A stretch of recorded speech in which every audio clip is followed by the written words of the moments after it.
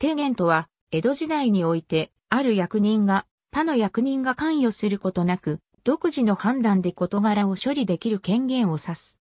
手言には大きく分けて手言吟味と手言仕置きがあった。前者は、捜査を行ったり裁判を開いたりする権限に関するもので、後者は判決を下して刑罰を与える権限に関するものである。また、民事訴訟を含めた裁判の場合には、手言公事と称した。手言は、当該の役人、機関の管轄や領主として持つ所要の範囲によって認められる権限に差が生じる。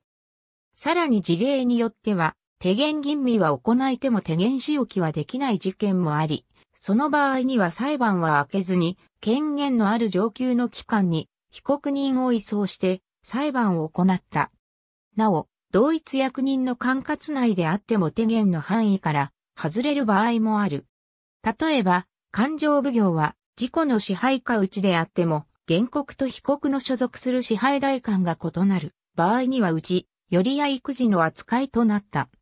大名に関しては1697年に出された自分使用規例によって領内で発生した事件に関しては吟味、使用規ともに江戸幕府の許可を必要としないものとされた。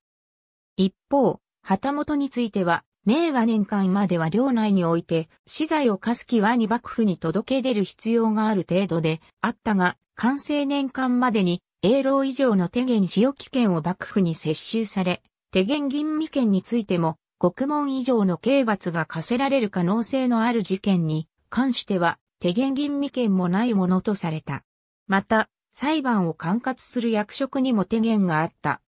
例えば、江戸にいた三奉行は、中追放までは手言仕置きが可能であったが、10追放以上の場合は老中に伺いを、縦表情書にて是非を決定して、老中の採決を得た。さらに、遠投、死刑の場合にはさらに将軍の採決も要した。ありがとうございます。